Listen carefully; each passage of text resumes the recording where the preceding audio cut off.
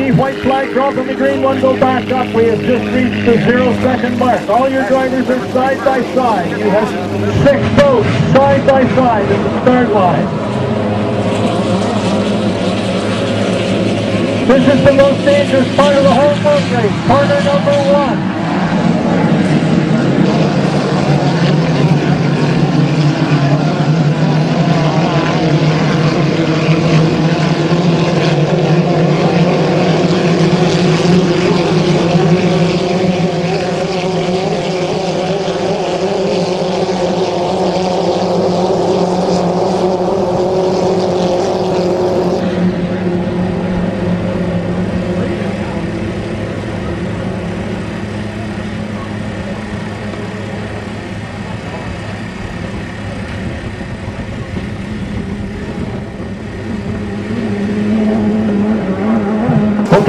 We finish lap number one, the boat is currently in the lead.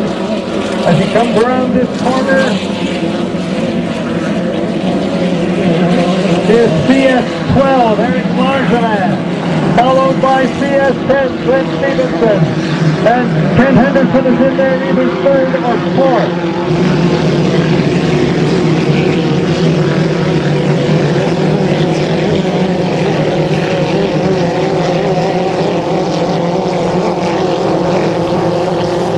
Last year, Glenn Stevenson was CS10 was second overall Eric Marchand was third. Oh, we have a spin out in the far corner. The boat is safely spun out to the inside. The race will not stop.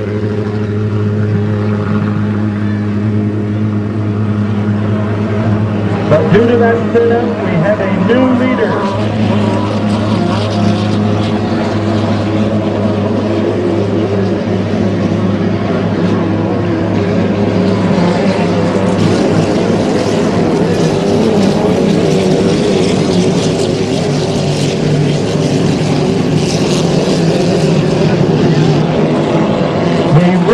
With the yellow lightning on the side is CS number 19. That is the boat that was last year's champion. Sylvain Maillard is running carefully now. He's, uh, I believe, a relatively new racer.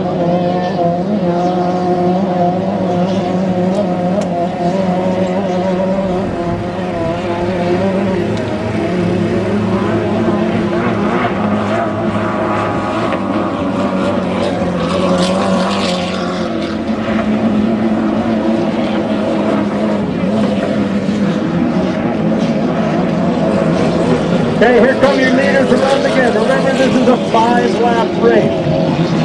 The boats are now quite, quite spread out, but that does not guarantee the winner will be the boat that's in front right now, because anybody can spin out in a corner or get caught in a wind.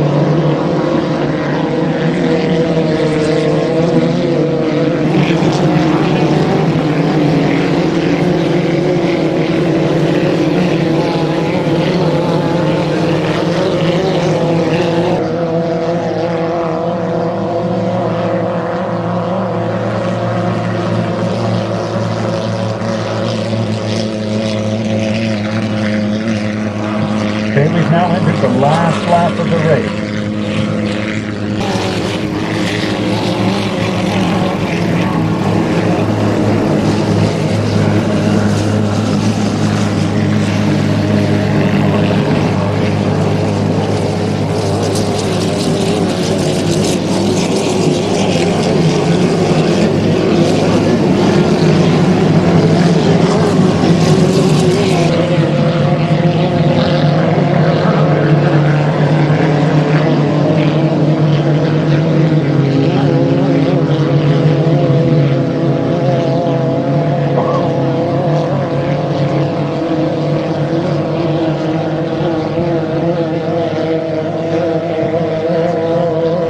If, if you look down towards the front edge of the pit, you can see the checkered flag now waving, signifying the end of the race. There's one very interesting set of unknowns in inboard hydroplane racing, and that is the set of unknowns of penalties. Right now, as spectators, we are not able to determine if any of those boats crossed the finish line one second early. If they did, they've been penalized. The other thing we are not sure of at this moment as spectators is whether or not any of these boats in this race cut another boat off or got in the wrong lane going through a corner. That's why we have our corner judges in the larger boats. They will radio in anything they have noticed during the race, and if there are no penalties, the winner is the person that you saw cross the line first. But at different times and different races, there can be penalties.